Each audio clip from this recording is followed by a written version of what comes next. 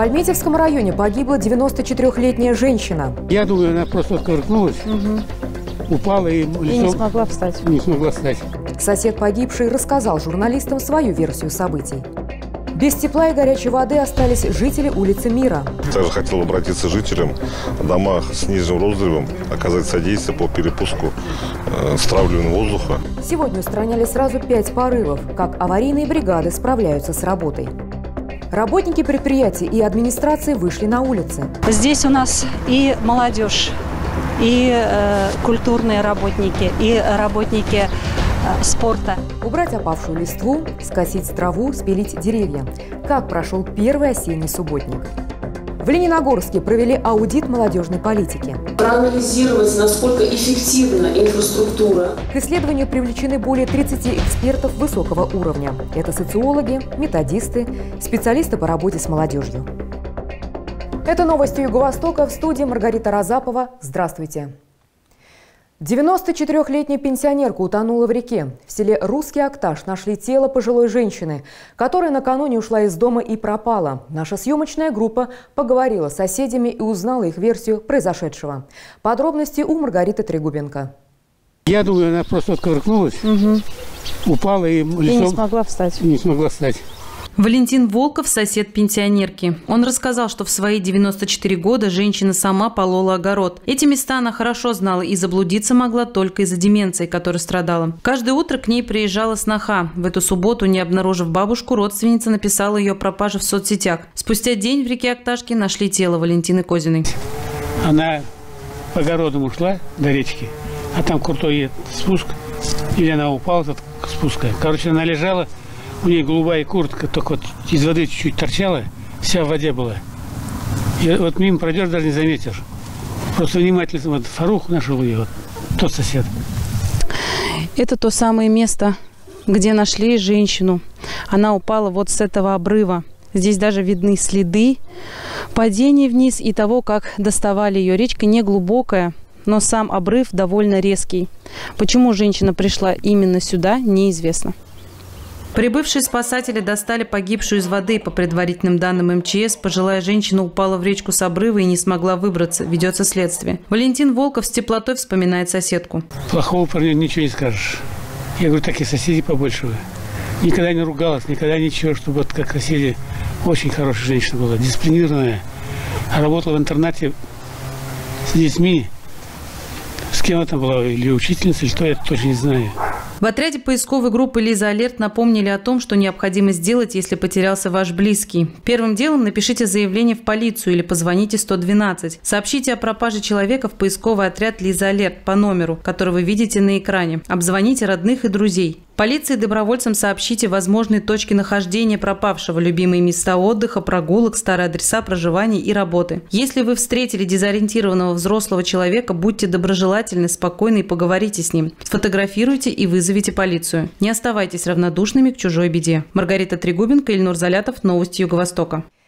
В выходные в Альметьевском районе произошло два серьезных ДТП. Ночью в субботу пострадал 17-летний парень. Как сообщают автоинспекторы, молодой человек мало того, что сел за руль, не имея водительского удостоверения, был еще и пьян. В итоге водитель слишком сильно разогнался и опрокинул авто в кувет. Его доставили серьезными травмами в больницу.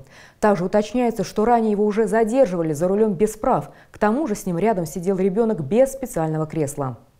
Второе ДТП произошло на трассе Казань-Оренбург, недалеко от села Нагорное. Здесь столкнулись «Лада» и «Шкода». По предварительной версии госавтоинспекции авария случилась, когда отечественный автомобиль выезжал со второстепенной дороги.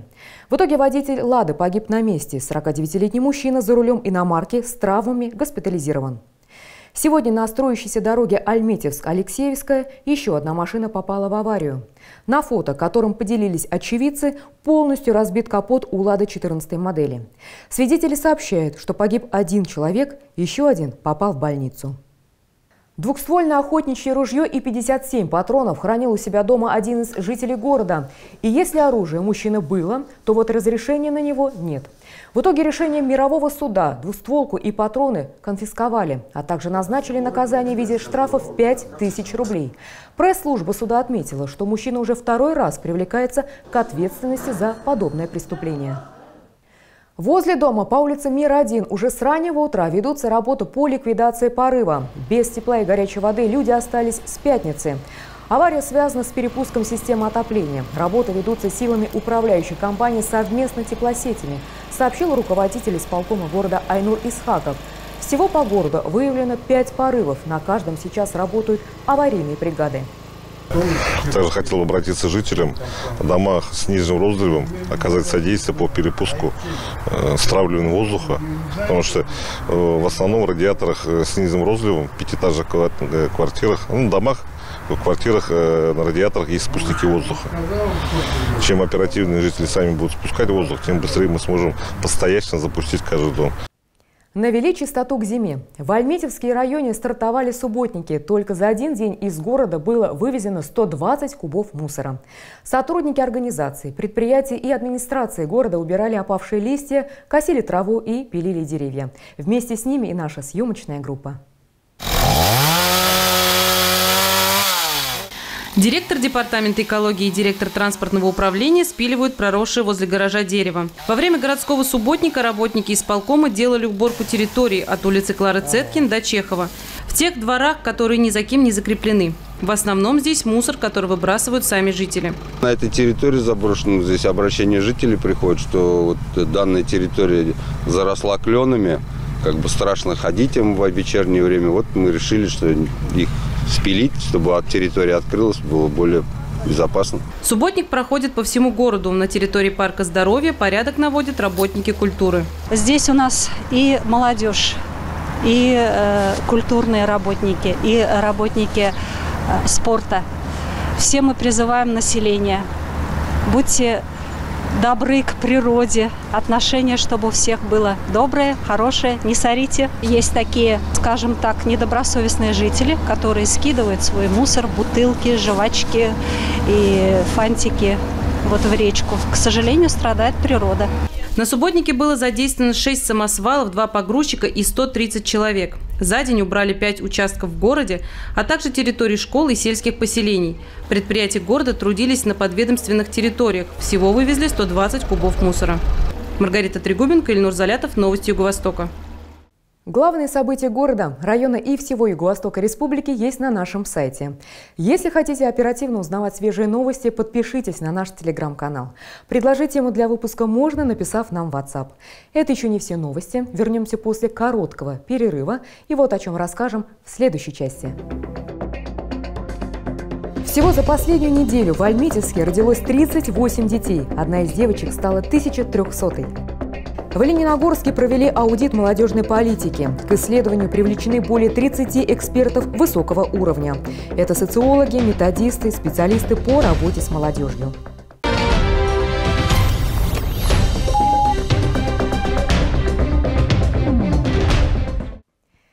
К радостным новостям. В Альметьевском районе зарегистрировали рождение 1300-го младенца. Юбилейная малышка родилась в семье Юнусовых. Девочку назвали Айлина. Она первый ребенок в этой семье. Всего за последнюю неделю в Альметьевске родилось 38 детей. За 9 месяцев этого года появилось 69 двойняшек. Самыми популярными в этом году стали имена Лев, София, Амина, Амир, Самыми редкими – Адалин, Селин, Севастьян, Паулина, Рагнар, Сильвана и другие. В Лениногорском районе прошел аудит реализации молодежной политики. Проект проводит Республиканский центр молодежных, инновационных и профилактических программ «Навигатор» при поддержке Министерства молодежи Татарстана совместно с партнерами. Его цель – провести проверку в сфере молодежной политики, чтобы потом дать рекомендации по улучшению работы. Аудит – это большое комплексное исследование. Оно нужно для того, чтобы в дальнейшем выстраивать правильную стратегию и тактику работы с молодежью. Проект финансируется на средства гранта Министерства по делам молодежи Татарстана, выигранного Лениногорским районом, и из федерального бюджета. К исследованию привлечены более 30 экспертов высокого уровня. Это социологи, методисты, специалисты по работе с молодежью с учеными степенями, партнеры, крупнейшие российские компании. Тот проект, с которым мы приехали к вам, это беспрецедентный проект на а, уровне всей Российской Федерации, потому что мы ставим, а, республика ставит перед собой задачу уже анализировать, проанализировать, что сделано, а, проанализировать, насколько эффективна инфраструктура, работающая с молодежью, и какие задачи нужно ставить перед профессиональным сообществом в первую очередь, перед государством на будущее. Аудиту подвергнутся все учреждения, которые работают с молодежью – школы, центры, даже больницы. Проверку на уровень компетентности пройдут и специалисты, работающие с молодежью. В дни проведения аудита на территории молодежного центра «Высота» прошла экологическая акция. Марат Герфанов и представители движения первых высадили во дворе учреждения 20 саженцев рябины. Это не первая акция, в которой участвовал Лениногорский совет первых. У нас в прошлом году было множество Например, акция «Экодети». У нас произошла благотворительная ярмарка, в результате которой собранные средства пошли детям из организации «Дари добро». Скоро здесь будет аллея первых. К акции присоединилась кандидат на должность председателя регионального совета первых Лика Молдованова из Альметьевска. В прошлом году я вошла в состав первого регионального совета первых в качестве лидера направления экологии и охраны природы. Стала координатором сообщества юных натуралистов Республики Татарстан. В этом году я уже кандидат на пост председателя регионального совета первых. Я очень хочу через эту деятельность показывать, что движение действительно доступно для каждого, и здесь каждый может найти себя. В рамках аудита среди жителей от 14 до 35 лет был проведен опрос. Он позволит выяснить, чем живет лениногорская молодежь, ее отношение к власти, заинтересованность городскими новостями, планы на жизнь и многое другое. Объекты, созданные для молодежи, проверят на востребованность, доступность, комфортность и соответствие запросам молодых людей. Наталья Лакомкина, Роман Вагатов, Новости Юго-Востока. Теперь расскажем, какой будет погода в городах Юго-Востока в ближайшие сутки.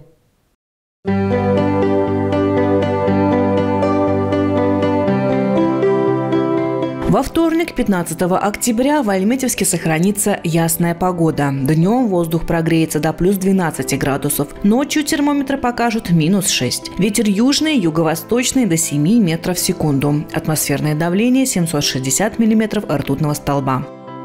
Солнечная погода будет и на всем юго-востоке. В Ознакаево, Бавлах, Бугульме, Заинске и Лениногорске днем будет плюс 12, плюс 10. Ночью 3-9 градусов ниже нуля. Ветер в основном южного направления до 7 метров в секунду.